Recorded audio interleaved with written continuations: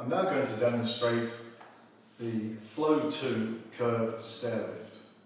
This lift features an interlinked seat and footrest and a unique fully rotational swivel.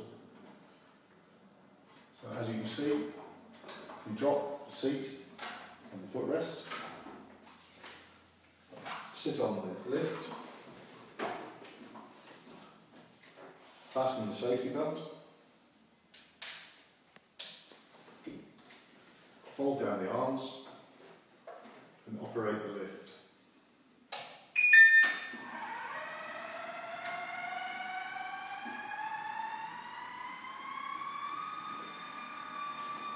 This lift is programmable and can actually carry you up the stairs sideways, as we're moving to now, or even backwards if the stairway is very narrow.